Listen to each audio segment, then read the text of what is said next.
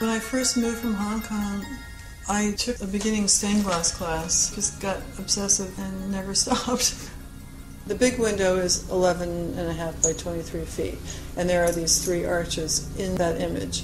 These three arches will be the same shape, the same size across the room. There'll be six themes in there healing, reconciliation, and diversity, communion, baptism, and grace. All of the light that'll be utilized will be reflective light, which is something that I really am interested in. I don't want static light. Light has to be moving and changing. To me, that's the beauty of stained glass, is the image is never the same.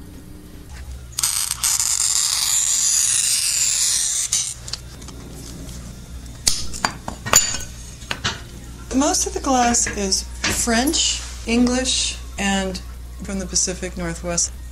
These grapes are part of the chalice. They're old prisms, and I got them in Paris at that flea market. This is really nice to have the faceting for picking up the light. These are Czechoslovakian. Those are old candy dishes from the Depression era. The glass that I use for those hands is a two-way mirror. And the idea is that you'll see somebody else in yourself, you'll see yourself in somebody else. And so these hands are reaching out to other people. It's been a pretty powerful experience for me. I mean, it's. I mean, when you're making imagery, even if it's abstract, you have to be accountable for it.